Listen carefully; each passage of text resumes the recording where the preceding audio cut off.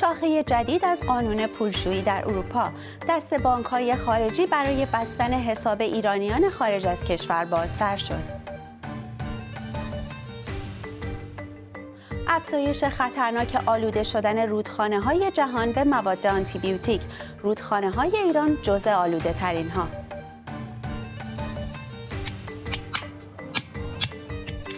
و ناگفته هایی از زندگی فارسیوان ها در پایتخت کهن شاهان افغانستان.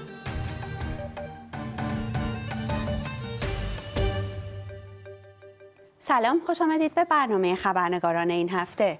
با از سر گرفتن تحریم های ایران شرکت ها و مخصوصا بانک های اروپایی برای کار با ایران و مشتریان ایرانی نگران و محتاط هستند. جریان بسته شدن حساب بانکی ایرانیان در این کشورها همچنان ادامه دارد. اما بانک ها که در سالهای اخیر برای بستن برخی از این حساب های بانکی تحت قوانین ضد تبعیض جریمه های سنگینی پرداخت کردند حالا با تکیه بر شاخه جدید قانون پولشویی ماهرانه از شکایت های حقوقی و دادگاهی خود را دور نگه می دارند. قانونی که به بانک اجازه می دهد پشت مراکز دادستانی بریتانیا پنهان شود. جزئیات بیشتر از آناهیتا شمس. دهها حساب بانکی ایرانیان در بریتانیا و دیگر کشورهای اروپایی در ماهای گذشته مسدود و یا بسته شدند. داستان بسته شدن حساب مشتریان ایرانی در بانک های اروپایی چیز تازه ای نیست.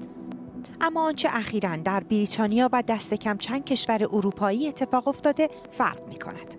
این بار پس از نامه مسدود شدن حساب بانکی، نامه از اداره پلیس، سازمان مبارزه با فساد یا دادستانی دست دارنده حساب می رسد.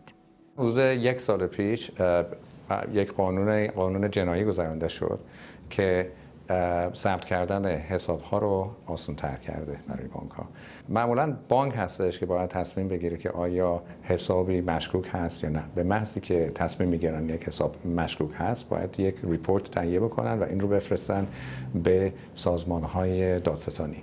اونها نامه میدن یک notice میدن به دارنده حساب و بهش اعلام می‌کنن که اگر ظرف سی روز آینده توضیح نده که توضیحات لازمه رو نده و مخالفت خودش رو با بستن حسابش اعلام نکنه حساب ضبط میشه. بعد از اینکه اون سی روز میگذره اگر جوابی داده نشه اون معمور معمور به خصوص تصمیم می‌گیره که آیا حق این رو داره که تصمیم بگیره که این مسئله رو به دادگاه ببره یا نه قانون جدید به بانک اجازه می دهد تا با تکیه به قانون جدید پولشی حساب بانکی را مسدود و یا آن را ببندد. دارنده حساب هم نمی‌تواند مانند گذشته از بانک به عنوان مثال به اتهام تبعیض نژادی به دادگاه شکایت کند. این قانون هست شاخه هست از قوانین پولشویی قوانینی که از سال 2002 به وجود اومدن و این قوانین مرتبا در حال تغییر هستند و مرتبا بهشون اضافه میشه. برای اینکه قوانین پولشویی یک از مشکلاتی که همیشه داشتن بود که عمل کردن روشون همیشه سخت بوده و مرتبا اینا دارن سعی می‌کنن که قدرت سازمان های دادستانی رو بیشتر بکنن و بهشون بیشتر قدرت بدن تا اینا بتونن با به طور خیلی راحت تری عمل بکنن.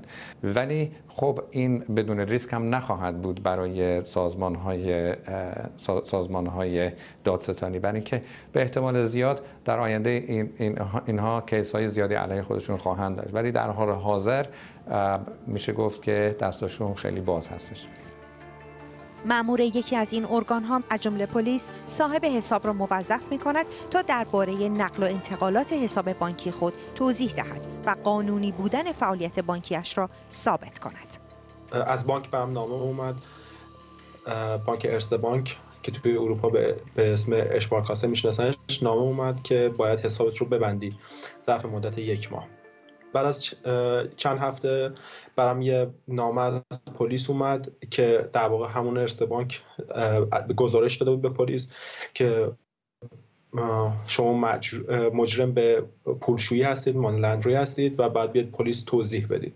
در نهایت من رو تو پلیس خواستن و یه توی interview سه چهار ساعته تمام transaction مالی رو توی چند سال گذشته چک کردن و همه چیز درست بود سر جاش بودش هیچ چیز اشتباهی توی حساب وجود نداشتش. در نهایت پلیس به من نامه داد که شما هیچ مشکلی ندارید ولی بانک اجازه ندادن اونجا حساب داشته باشم به بانک دیگه مراجعه کردم که برای حساب شرکتم می‌خواستم حساب باز کنم بانک آسریا که علنا به من گفتن که چون تو ایرانی هستی و ایران به دنیا آمدی ما بعد حساب نمی‌تونیم باز کنیم ترس از تحریم های ثانویه آمریکا باعث شده بانک از هر گونه طرف حساب شدن با ایران عقب نشینی کنند. بحث شدن راه های قانونی جابجایی پول از ایران و به ایران زندگی و تجارت ایرانیان خارج از کشور را سختتر کرده. در نتیجه استفاده از راه های غیر معمول انتقال پول، حساب بانکی ایرانیان برای بانک ها مشکوکتر به نظر می رسد. در ایران همیشه این سیستم حواله وجود داشته برای نقل و انتقال پول. ولی خب این سیستمی هستش که بیش از اندازه الان داره ازش استفاده میشه خیلی بیشتر از سابق. و دلیلش هم همین سانکشن که روی ایران بوده و از سال 2011 همچنان سختتر و سختتر شده. و بنابراین تنها راهی که الان هستش برای یک ایرانی که بتونه پولش رو انتقال بده از ایران به یک کشور اروپایی مانند انگلیس از طریق صرافا و از طریق سیستم حواله هستش. بنابراین ایرانی ها خیلی راحت می‌تونند مشکوک به نظر برسن. بنابراین برای بانک ها احتمال این که تبعیض بکنن برای ایرانی ها و ایرانی ها رو به اندازه خیلی بیشتری بخوان ازشون شکایت بکنن به سازمان های دادستانی احتمالش خیلی بیشتر هستش. شاید به نظر بیاد بحث شدن یک حساب بانکی برای مدتی خیلی نمی‌تونه مهم باشه. اما واقعیت اینه که در دنیایی که بیشترین جابجایی پول از طریق سیستم های بانکی انجام میشه مسدود شدن این حساب ها می‌تونه تاثیر زیادی روی زندگی افراد بذاره و می‌تونه بخش مهمی از زندگی روزمره اونها رو فلج کنه. 6 7 سال کردیت هم توی اون بانک بودش. تمام روزمره زندگیم از قبضای آب برق تلفن بیمه هام همه چی از روی اون حساب کم می شدش من یه مثال بخوام براتون بزنم این که من یک چیز 15 یوروی بعد تو ماه پرداخت می‌کردم که واقعا فراموش کردم چون همیشه نرمال از روی حسابم برداشت میشدش. و به خاطر اون در واقع قبض 15 یورویی که من فراموش کردم و هیچ ایمیلی نگرفتم که باید پرداخت کنم و اون شرکت فکر کرد من نمی‌خوام پرداختش کنم. یه چیز خول و هوش 1300 400 یورو من جریمه شدم.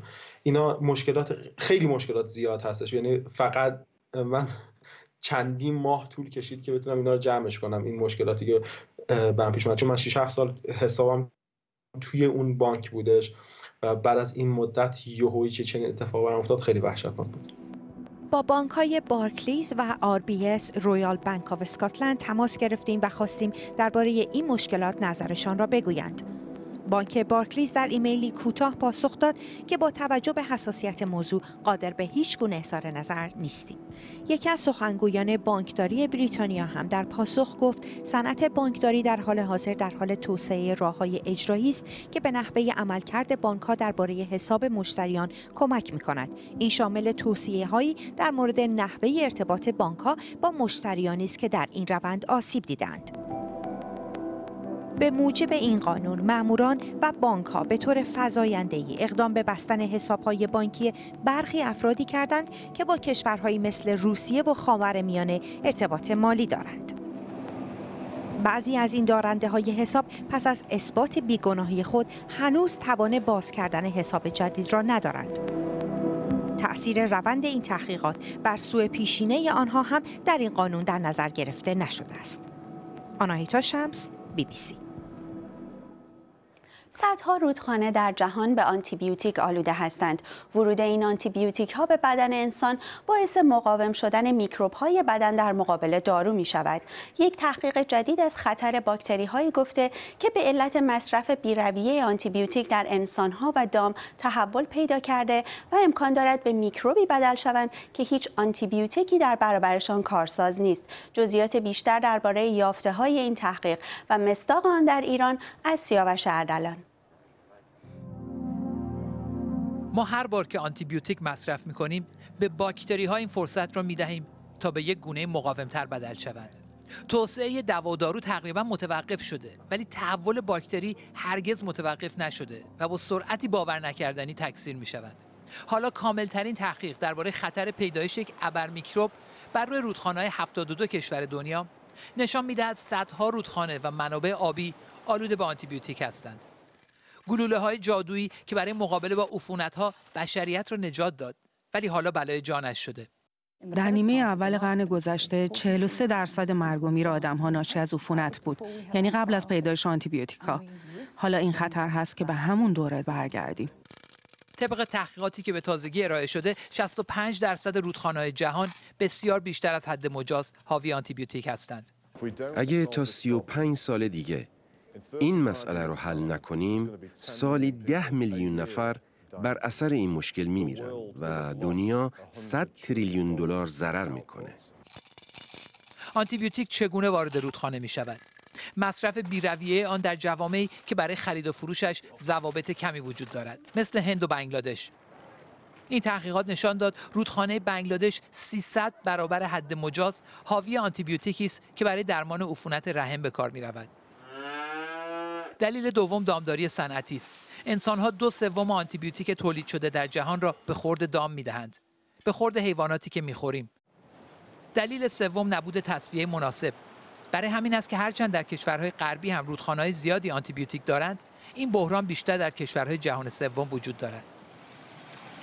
در ایران هنوز یافته های رسمی درباره آلودگی آنتیبیوتیکی رودخانه منتشر نشده. اما نتیجه تحقیقات دانشگاهی نگران کننده بر روی رودخانه کرج بی سر و صدا منتشر شد ولی به آن توجهی نشد. رودخانه کرج یکی از صدها رودخانه ایران است که مردم اطراف آن از آلودگی در محلهایشان زیر فشارند. اینقدر پشه کوره هستش نمی‌تونیم جای بشین مگس هستش. بارها اومدن آزمایش کردن آب اینجا رو. عامل اصلیش هم همون فاضلاب اونجاست. فاضلاب های شهری و روستایی که مقادیر انبوهی از آنتیبیوتیک را وارد رودخانه ها می کنند. این تحقیقاتی است که پارسال پژوهشگران دانشگاه ملایر انجام دادند تا میزان آلودگی به آنتیبیوتیک و غلظت آنتیبیوتیک رو در رودخانه کرج و نقاط مختلف این رودخانه بسنجند و با هم مقایسه کنند.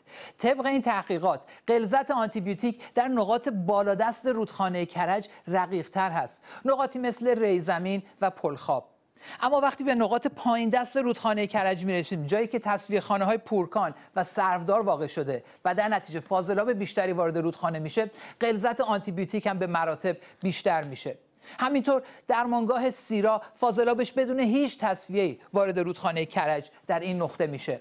علاوه بر اینها مراکز پرورش آبزی و دامداری ها رو داریم که در امتداد این رودخانه مستقر شدند. در این تحقیقات میزان آنتیبیوتیک رودخانه کرج با واحد میکروگرم در هر لیتر سنجیده شده. مثلا آموکسیسیلین که برای های گوشت، پوست و مجاری ادراری مصرف می شود، در رودخانه شانگهای چین 336 صدم میلی گرم در هر لیتر است. در رودخانه میشیگان 590 صدم و در رودخانه کرج غلظت آنتیبیوتیک بیش از چهار برابر رودخانه میشیگان است. همین تحقیقات غلظت آنتیبیوتیک در فاضلاب ها را هم با هم مقایسه کرده.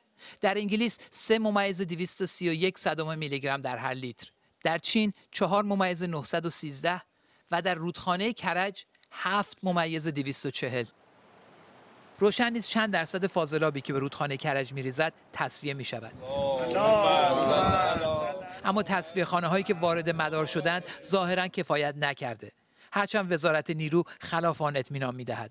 ما در حال حاضر حدود یک میلیارد متر مکعب در سال به اصطلاح فاضلاب تصفیه میشه و به پساب تبدیل میشه. پسابی که مورد استفاده دوم یا استفاده مجدد قرار می‌گیره با روش های کاملا بهداشتی و محیط زیستی. هم نخواهد بود اما هر بار که خبرنگاران به منطقه می روند و از مسئولان محلی پرسجو می کنند با پاسخهای این چنینی مواجه می شوند دیگه غیر از این دیگه کار دیگه نمی‌شد بکنیم ما. آنچه در رودخانه کرج میگذرد مشتی است نمونه خروار از یک مشکل جهانی. که شاهد تکاپوی میکروبا در راه خلق ابر میکروبی است که اگر سر کلش پیدا شود نه از تاک نشان ماند نه از تاک نشان. سیاوش اردلان بی بی سی. قندهار در جنوب افغانستان ولایتی است با ساکنان عمدتا پشتون. در کنار آن دهها هزار فارسی زبان بومی که به فارسیوان ها معروفند زندگی می کنند فارسی زبان های قندهار بیشتر شیعه مذهب و از معدود ساکنان کشور هستند که به جای هویت قومی با هویت زبانیشان شناخته می شوند ارشاد هنریار در سفرش به قندهار از ناگفته های زندگی آنها در این ولایت می گوید مسگری و حلبی سازی دو صنعت قدیمی در قندهار پیشه که دست فارسی زبان هاست. با گفته کسب کاران این بازار سنتی را پدران آنها بنا کرده محله توپخانه در شهر قندهار به مرکز فارسی زبان ها در این ولایت مشهور است. این بازار مسگری و حلبی سازی به دلیل همین سر هایی که ازش بلند است به بازار تک تک مشهور است. در کسب و کار زرگری هم فارسی زبانهای بومی قندهار حرف اول را می‌زنند. زیورالات ساخته شده در همین کارگاه ها اغلب به نام طلای ایرانی و عربی در بازارهای شهر به فروش می رسد. شغل زرگری که است از پدران ما از نیکان ما بر ما با ارث مانده برای مردم فارسی زبان قندهار. باز تمام مهاجر شدیم ایران حتی ایران رفتیم می کار می کردیم. از ایران دوباره برگشتیم به وطن. باز دوباره می کار خود شروع کردیم. بیشتر فارسی زبان های قندهار شیعه مذهبند. از میانشان این چهره با کسب حدود 7300 رای به مجلس راه یافته. بلندترین رای در میان بیش از 100 نامزد انتخابات پارلمانی اخیر در قندهار. ولایت عمدتا پشتون نشین. در محافل سیاسی و فرهنگی نقش زنان قندهار رنگ است. به دلیل سنت های دست و پاگیر تنها زن صدرنشین هم متعلق به جامعه فارسی زبان. بله من به خاطر همین در این برنامه حضور یافتم تا نشان بدم که زنها هم در برنامه که اینا داشتن سهم داشتن و همچنان به خاطر تشویق دیگه زنها. چون در ولایت قندهار خانم‌ها هستن که کار می‌کنن. درست است که کارها کارهاشان با دیدن همیشه یا در آشیه قرار گرفته. برای دانستن چند و چون زندگی فارسی زبانهای قندهار سراغ این پژوهشگر قندهاری را گرفتم. به گفته او نفوس فارسی زبان ها در این ولایت به حدود 50 هزار نفر می رسد. در ولایت با حدود 300 تا 400 هزار نفر جمعیت. در قندهار کسی که فارسی گپ می‌زنه میگن شیعه است. شیعه قندهار شاید در بینشان شیعه نباشه اهل تسنن هم باشه. یافتر که در قندهار اهل تشای اون ماندگار شدن از زمان احمد شاه قشر فارسی زبان قندهار از زمان صفوی ها به این طرف تا قندهار رسید. در پای تخت شاهان افغانستان همدلی شهروندان را فراتر از مرز زبان و مذهب یافتم. آنچه را که مولانای بلخ گفته بود در قندهار دیدم. همدلی از همزبانی خوشتر است.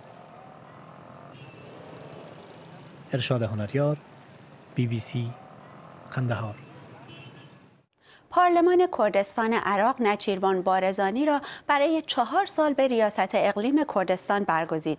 نچیروان بارزانی سالها نخست وزیر این اقلیم بوده. او رابطه نزدیکی با همسایگان عراق از جمله ایران و ترکیه دارد. مسعود بارزانی رئیس پیشین اقلیم دو سال پیش از قدرت کنار رفت. جزئیات بیشتر از جیار گل. پارلمان کردستان عراق جلسه انتخاب رئیس اقلیم کردستان برای دوره چهار ساله امروز پارلمان کردستان عراق با 68 رأی با اکثریت آرا نچیروان بارزانی را به ریاست اقلیم کردستان برگزید. نمایندگان حزب اتحادیه میهنی کردستان عراق دومین حزب قدرتمند این منطقه در جلسه امروز پارلمان غایب بودند. آنها نتوانستند با حزب آقای بارزانی حزب دموکرات کردستان به توافق برسند می‌خواستیم با حزب دموکرات به توافقی برسیم بر سر این سه موضوع. اول شراکت در اقلیم کردستان باید حقیقی باشد. دوم در مورد مسئله کرکوک و مناطق مورد اختلاف با بغداد باید به توافق رسید. سوم درباره همکاری با دولت بغداد با هم گفتگو کنیم. این برای آینده اقلیم بود اما توافقی کسب نشد. حزب دموکرات کردستان به رهبری آقای بارزانی و اتحادیه میهنی کردستان در سالهای گذشته متحد استراتژیک هم بودند. این دو حزب عملا منابع اقتصادی و امنیتی کردستان عراق را در کنترل خود دارند. ما از عدم مشارکت اتحادیه میهنی در این رأیگیری نگرانیم. ما متهم به تکروی شده ایم اگر می‌خواستیم بدون همکاری اتحادیه میهنی رئیس اقلیم تعیین کنیم شش هفت ماه پیش این کار را کرده بودیم. نچیروان بارزانی 52 ساله. فارغ التحصیل علوم سیاسی از دانشگاه تهران است. او برای ده سال در چند دوره نخست وزیر اقلیم کردستان عراق بوده. هوادارانش نچیروان بارزانی را رهبری عملگرا میان رو و طرفدار بازار می‌خوانند. امیدی برای سامان دادن وضعیت سیاسی و اقتصادی کردستان عراق. اما مخالفانش او را عامل بسیاری از مشکلات کنونی این منطقه می‌دانند. مردی که برای یک دهه نخست وزیر این منطقه بود ژیار گل بی بی سی بیش از 200 سال می شود که پیانو به ایران آمده است. برای نوازنده ها اما نواختن این ساز غربی مشکلاتی را با خود آورده است. برای نواختن موسیقی ایرانی باید کوک آن را مدام تغییر داد. حالا یک شرکت آلمانی راه حلی برای نوازندگان ایرانی پیدا کرده است. این تکنیک جدید در برلین معرفی شد و بامداد اسماعیلی هم برای آشنا شدن با آن به برلین سفر کرد.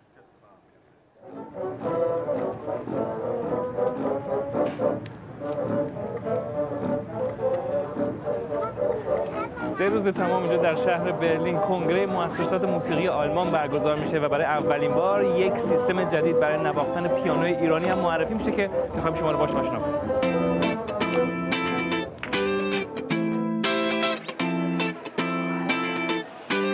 در این کنگره علاقمندان با سازهای مختلف و جدید آشنا شدند و با روش ها و تکنیک های نواختن این سازها. بعضی ها هم دنبال کتاب های موسیقی و نوت بودند و عدهای هم گوششان را برای قالبگیری هدفون های مانیتورینگ در اختیار کارشناسان قرار دادند. اما در یکی از سالن های این کنگره پویان آزاده سیستم جدیدی برای نواختن پیانو با کوک ایرانی را معرفی کرد. روی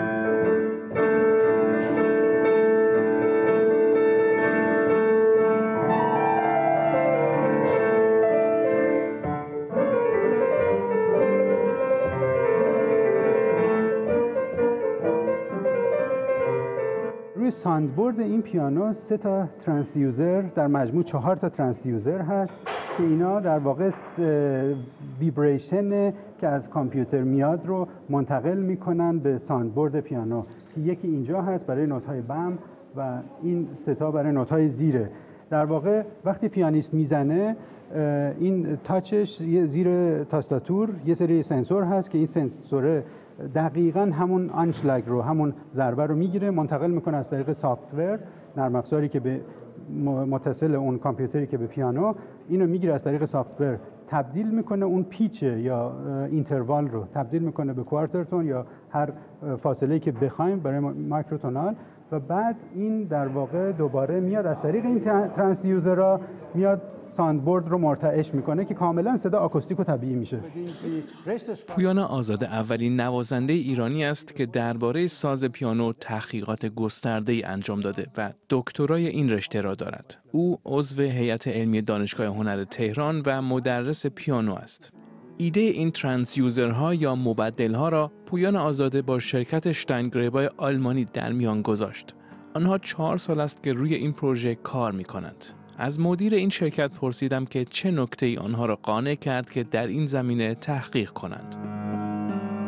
Wir haben uns hier schon Generationen von Klavierbauern. ما الان سال هاست که در مورد کوک پیانو تحقیق می‌کنیم که همه بتونن سریعتر و راحتتر پیانو رو کوک کنن تا بشه مثلا کوک شرقی رو با سبک باروک بزنن و حتی بشه فاصله های کوک رو هم سریع و دقیق عوض کرد. Äh, und ganz verschiedene äh, Stimmhöhen, äh, dass man die einfach schnell und präzise erreichen kann.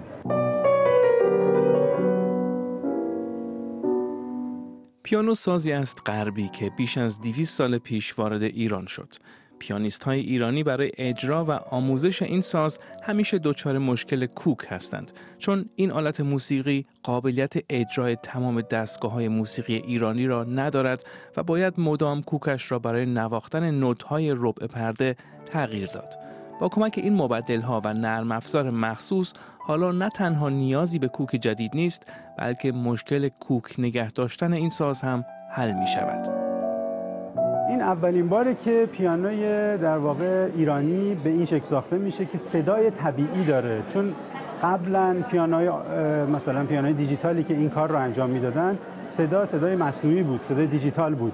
ولی این پیانو پیانویی که صدای آکوستیک تولید می‌کنه یعنی ویژگی خاصش اینه. میشه گفت که این یک انقلابیه در پیانوی ایرانی؟ ببینید انقلاب خیلی کلمه بزرگی ولی یه تولید یک یک محصولیه که بله به نظر من یک تحولی رو می‌تونه ایجاد بکنه به خاطر اینکه به راحتی با هر پیانوی آکوستیکی با وصل شدن البته این سیستم ترانسدیوزر میشه به راحتی کوک ایرانی رو داشت و صداشو شنید قیمت این دستگاه همراه با نرم افزارش حدود 7000 یورو است. شرکت اشتانگربا اما هنوز نتوانسته یک عدد از آن را هم به ایران وارد کند.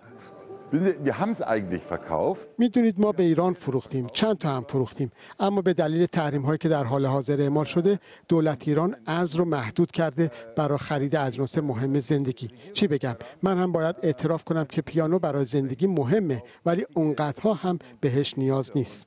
Äh, naja, ich meine, auch ich muss zugeben, ein Klavier ist wunderbar fürs Leben nötig, aber nicht unbedingt notwendig.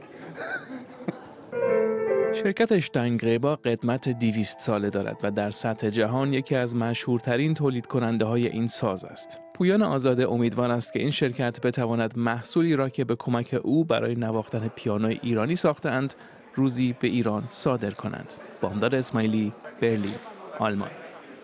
ممنون که با ما همراه بودید تا برنامه بعد بدرود